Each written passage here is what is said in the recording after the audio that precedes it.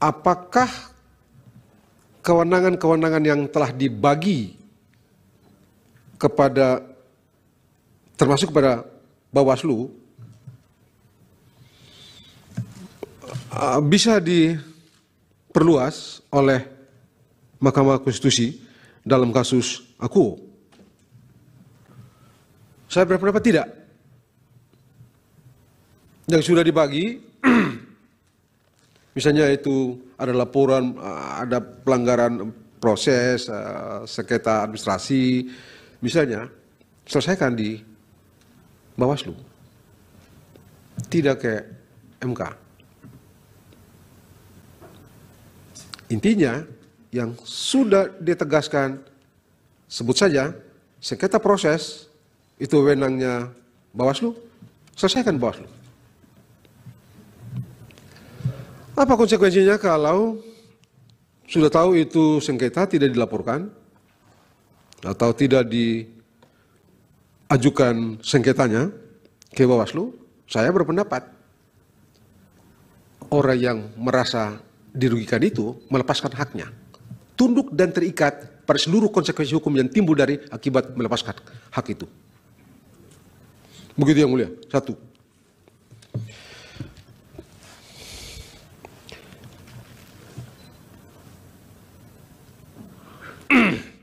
Eh, yang ke yang kedua, apakah um, per pengangkatan penjabat-penjabat gubernur, bupati dan wali kota itu dimaksudkan untuk memenangkan sebut saja Pak Prabowo dan Pak Gibran dalam Pilpres. Seberapa tidak? Bagaimana caranya memenangkan orang itu dengan cara mengangkat uh, apa mengangkat pejabat gubernur terus um, Pak Prabowo dengan Pak Gibran menang? Bagaimana caranya? Satu, yang kedua, ini perintah undang-undang. Kalau tidak diangkat karena takut nanti pejabat-pejabat uh, penjabat-penjabat itu akan memenangkan atau menyalahgunakan uh, wewenang atau apa pun yang dapat disebut atau disamakan dengan itu. Terus tidak dekat hanya karena takut jangan dituduh untuk memenangkan uh, Pak Prabowo dengan Pak Gibran. Terus apa yang mesti dilakukan? Dan kalaupun terjadi dalam kenyataan real konkret itu terjadi tindak tanduk yang dinilai menguntungkan tindak tanduk itu harus diperiksa. Tidak boleh ngomong-ngomong. Harus diperiksa. Oleh aparatur yang diberi wenang untuk memeriksanya. Sepanjang tidak ada itu, kalau urusan persepsi, oh silakan aja. Karena politik kan urusannya persepsi. Dalam hukum urusannya bukti. Supaya orang itu kita dapat secara meyakinkan secara hukum mengkualifikasi tindakan orang itu sebagai tindakan yang memberikan keuntungan kepada sebut saja 02 pasangan Pak Prabowo dengan Pak Gibran maka itu orang harus diperiksa. Kalau tidak diperiksa ada terima. Kalau cuma ngomong-ngomong nggak bisa ngomong. Ngomong-ngomong itu tidak, tidak punya nilai apa-apa. Jadi sekali lagi apalagi misalnya ada kenyataan empirik sebagaimana disebutkan oleh Pak Oto tadi um, di dua tempat di Aceh sama di Sumatera Barat kampungnya Profesor Saldini. Kalah itu Pak, Bro. Kalah juga si Gibran tuh. Kalah juga Pak Gibran. Mana apa memang di kampungnya Profesor Saldi sana tidak ada pejabat? Apa tidak ada? Ada juga. Maka mereka bilang lebih banyak lagi. Coba bagaimana menjelaskan itu ada satu hal yang bersumber dari hal yang sama, tapi outputnya berbeda. Jadi ini mesti ada urusan ini memberikan keuntungan berpihak kepada pasangan calon nomor dua, tidak bisa diomongkan saja. Kalau itu ditemukan ada tindak tanduk yang dinilai dengan penelaran yang logis menyimpang, periksa itu orang. Undang-undang memberikan kewenangan itu kepada semua orang. Kalau tidak dilakukan itu, maka orang itu harus dianggap menerima kenyataan itu, tunduk pada seluruh konsekuensi hukum yang timbul dari melepaskan hak itu. Begitu yang mulia.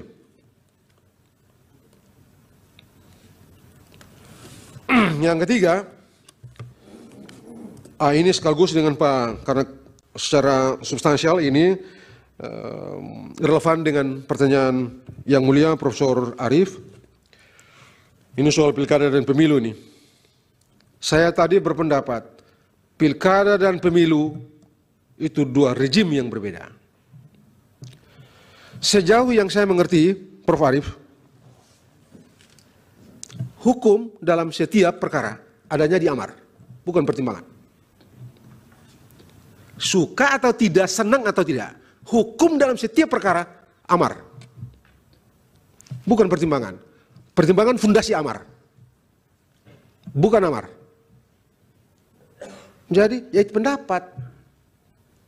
Sejauh yang saya baca, pendapat penyamaan pilkada dan pilpres itu dipertimbangkan sama dengan seolah-olah ditafsir, ditafsir orang di luar perintah mahkamah kepada presiden untuk bentuk peraturan pemerintah. Padahal di itu ada di pertimbangan. Teksnya juga bentuk peraturan perundangan, bukan peraturan pemerintah. Nah, bagaimana kita bilang peraturan perundangan itu sama dengan peraturan pemerintah? Spesifik pemerintah? Tidak. Jadi sebenarnya kalau toh itu diberikan, katakanlah itu kalau itu di, di amar putusan, teks peraturan perundangan itu, kalau ada teks itu, berikan diskresi kepada presiden, pilihan untuk memilih satu di antara beberapa bentuk hukum yang tersedia dalam sistem hukum kita. Dan bentuk hukum apa pun yang dipilih oleh presiden sah. Yang mulia Profesor Arif, karena ini berkaitan sekaligus tadi itu. Prof, saya tidak menunjuk selamat almarhum Selamat Effendi Yusuf itu. Saya menunjuk putusan pertimbangan yang dipakai di Mahkamah Khusus itu justru menunjuk putusan eh, pendapatnya Profesor eh, Pak Slamet.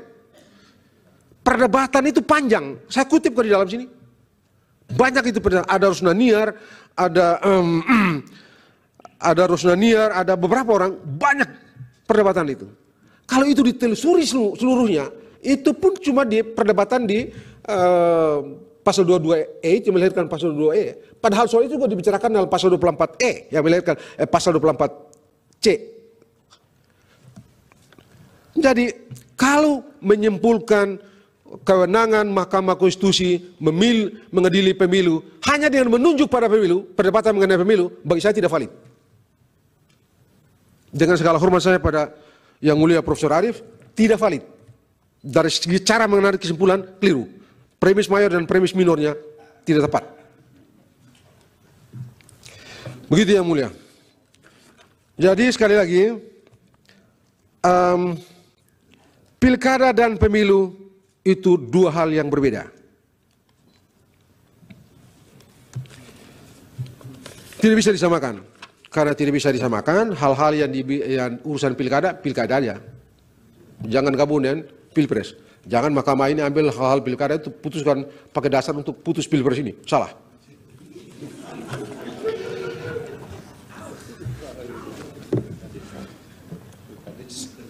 Oh, nanti, oh, nah itu dia jangan-jangan satu waktu ini uh, pemilihan kepala desa dibawa juga ke sini. Kan celaka juga kita nih. Dan itu apa? Saya apa supaya mahkamah ini betul-betul top.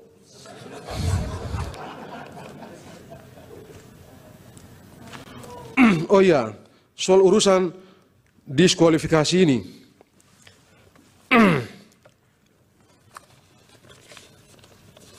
uh, apakah mahkamah ini bisa mendiskualifikasi pasangan calon? Sebagai orang hukum, apa dasarnya? Apa dasarnya? Orang itu tidak memenuhi syarat,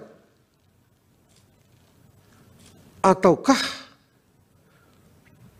pelanggaran-pelanggaran itu sedemikian kacaunya dan tidak bisa dibicarakan konkret bawa ke sini buktinya saya tahu di pilkada di beberapa pilkada saya jadi ahli memang di uh, sempat diperiksa itu uh, beberapa hal yang sebenarnya masuk dalam proses diperiksa di sini Tapi itu konkret. Saya tidak usah sebut yang spesifik. Satu pilkada pada waktu itu dalam perhitungan di KPU itu rusak semua itu apa uh, C1 itu tipex double tipex tipex double tipex sudah diprotes di KPU sidang itu di sidang di rekapitulasi KPU KPU masa bodoh. Di sini dipersoalkan. Bagi saya logis. Itu pilkada. Ada dasarnya. Ada peristiwa konkret yang menurut akal sehat logis untuk dicek. Sekarang Kembali ke pertanyaan Prof. Yusril, ini guru saya. Saya itu sebenarnya dulu mau ambil hukum ekonomi, ketemu Pak Yusril, Pak Yusril bilang, gak usah, satu waktu nanti tata negara itu penting, kamu jadi orang tata negara saja. Nanti saya bantu kamu uh, memberikan rekomendasi, kamu masuk tata negara. Ya sudah, kita bikin lagi, saya bikin tuh apa proposal di pramuka di pojok tuh. Kan dari kampung, Prof. Ini gara-gara Prof, ya, ya sudah, Nah, setelah itu selesai dokter ikut lagi beliau ke seknek. Beliau berhenti, saya berhenti juga. Iya benar. Beliau berhenti dari seknek, saya berhenti juga. Saya bilang, Prof, beliau nggak mau saya keluar dari seknek. Saya bilang, nggak, Prof. Saya yang diajarkan oleh orang tua saya, orang yang membawa saya dalam saya tidak bisa tinggalkan orang yang membawa saya dalam keadaan susah. Jadi Prof berhenti, saya berhenti juga. Berhenti saya. Ya benar. Saya bilang sama Prof, Dilanjutkan jawabannya. Baik. Jadi eh, tidak bisa didiskualifikasi. Suka atau tidak, senang atau tidak. Saya selalu mengatakan hukum tidak tidak ada urusan dengan suka dan tidak suka. Hukum memaksa kita untuk objektif. Hukum mengharuskan kita untuk objektif. Sebab kalau suka dan tidak suka, rusak. Ya sudah waktunya Pak Margar itu sudah mau habis. Yang tidak konsisten tadi dijawab. Yang tidak konsisten. Ah, tadi Prof. Sadi sudah jawab. Pak Arsul, Pak Henry Iya, kan Pak Sadi, oh iya. Silakan jawab. Ah, saya mulai dulu dari, eh, dari Prof. Saldi. Apakah dengan pendapat saya itu Mahkamah berubah? Mahkamah berubah. Apakah dengan pendapat saya itu Mahkamah berubah? Tidak kan? Apakah dengan pendapat saya itu norma berubah? Tidak. Saya mesti berpendapat. Dan karena itu saya ikuti. Karena tidak pernah berubah dari ya seperti ini sikap, sifat saya, sikap saya. Tidak berubah. Saya kan di, di perdebatan mengenai putusan MK 90 itu, saya bilang mau seribu sarjana hukum mengatakan putusan itu tidak sah. Sah itu putusan. Putusan itu saya bisa dikoreksi dengan putusan. Tidak ada dengan cara lain. Jadi begitu Profesor Saldi. Kemudian abang saya Pak Henry, hormat. Yang terakhir itu seribu persen bohong, salah itu. Itu orang bolak-balik itu. Tidak. Yang saya bilang bilang pilkada 2024 lebih, lebih buruk itu seribu persen bohong. Orang apa ngarang-ngarang itu. Kalau Pak Henry sangkal itu maju ke depan kita berdua ambil Al-Quran sumpah. Siapa yang bohong mati dia. Keluar dari sini mati. Karena itu bohong itu. Seribu persen bohong. Ya Tidak. Ya sudah, Kalau tidak. saya bilang pemilu 2024 itu jauh lebih baik dari pemilu 2019, betul. Kalau itu tidak perlu disumpah. Eh, tidak perlu disumpah, ada itu. Kemudian eh, tadi yang terakhir ya Pak Kamal tadi, Pak Kamal tadi, begini urusan negara hukum demokratis naik dan turun itu itu urusan persepsi sangat persep 2019 juga kami juga berpendapat sama ini. Negara ini tenang-tenang aja nih. Jadi soal persepsi aja, demokrasi pemilu ini akan begini-begini, demokrasi akan runtuh, enggak lah, tidaklah. Ada pemilu jauh lebih buruk, tapi tidak seperti ini. Tidak akan tidak mengakibatkan negara hukum turun kualitas, enggak. Demokrasi ini kan barang yang tidak memiliki bentuk akhir. Sesuatu yang terus menerus berproses. Jadi karena dia terus ber, terus ber, terus menerus berproses, bagaimana caranya menentukan dia naik atau turun? Terakhir Pak Refli tadi, saya merasa penting untuk menjawab ini putusan Pak Refli, eh, apa pertanyaan Pak Refli ini. Risalah dan putusan. Oh risalah itu bukan putus, bukan hukum kok. Bagaimana bisa dia dibandingkan dengan putusan? Dan kalau putusan amar, hukum dalam putusan itu diamar, bukan di hukum dalam putusan itu amar, bukan di dalam pertimbangan. pertimbangan cuma memberikan fondasi. Ya bagaimana caranya membandingkan itu? Orang satu bukan hukum, satu hukum, membandingkan membandingkan dua hal yang berbeda. Tadi Hair sudah bicara. Tidak masuk akal. Menyamakan dua hal yang berbeda juga tidak masuk akal. Jadi saya kira pertanyaan juga ya Kemudian mengenai pengangkatan pejabat demokratis bla bla bla em, segala macam ini. Ini demokratis ini barang ini sudah dibicarakan dari zaman Yunani kuno sampai sekarang ini begitu. Aristoteles kan jelas ini. Ini pemer- bentuk pemerintahan yang tidak bagus. Ini sebabnya di perdebatan pembentukan konstitusi Amerika Serikat orang tidak bicara mengenai demokrasi, orang bicara mengenai republik. Ini barang busuk. Ini demokrasi ini. Coba lihat aja kita yang belajar-belajar apa ilmu tata negara ini. Kemudian bagaimana dengan putusan MK? Sekali lagi, putusan MK dia menjadi hukum norma imperatif harus berlaku, yaitu kalau amar. Menurut tidak. Bagi saya eh, prosedur cara menemukan calon gubernur, calon pejabat gubernur, pejabat bupati, pejabat wali kota yang diatur dalam pas. eh, bagaimana dengan putusan? em, saya kira Sudah semua Bang ya. Kamil Kamal, saya kira tidak ada yang eh, tidak fundament, tidak ada yang terlalu ini. Oh terakhir, em, saya kira penting untuk tadi satu pertanyaan tadi eh, Pak Henry tadi soal putusan nomor 90 yang begini. Saya mau singkat aja nih. Kalau mau apa sederhana, ada atau tidak ada PKPU yang mengatur syarat itu, tetap saja ada syarat. Mengapa? Karena syarat itu diatur dalam undang-undang 7 2017. Dan dalam ilmu hukum saya saya cukup percaya Bapak-bapak yakin, Bapak-bapak tahu kalau dasar hukumnya berubah, hukumnya berubah.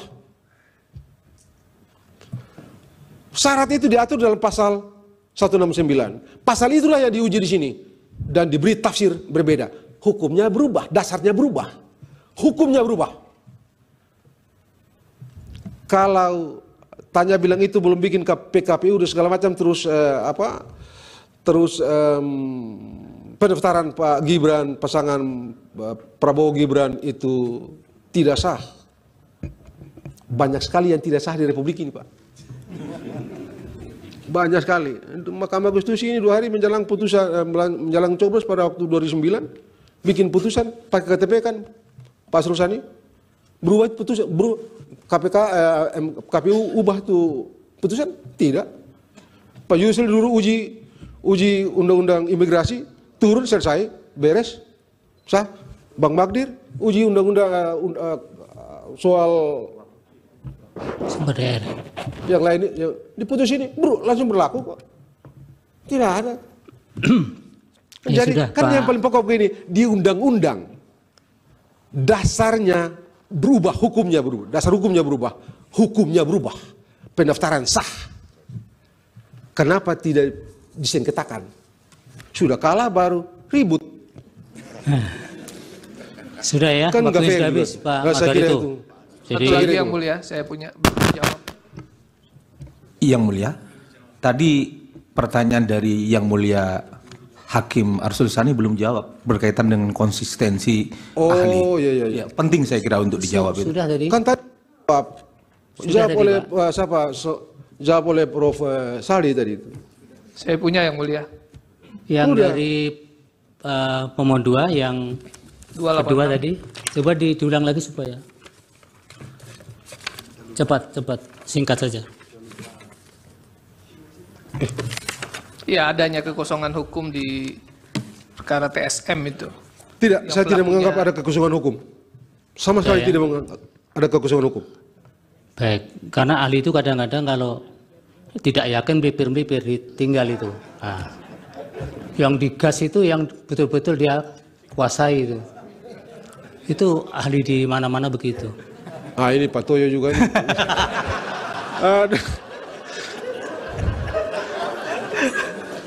ini belum tidur Pak Toyo dari jam 3. Oke, oke.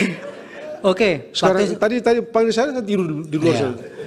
waktunya sudah habis, jadi tidak ada dialog lagi. Baik. Tapi yang paling penting Pak Margarito bahwa putusan MK itu satu kesatuan antara pertimbangan dengan amar. Itu supaya publik tahu. Loh. Tidak tidak ada lagi waktu untuk eh, apa? Wah, nggak fair membantah juga itu.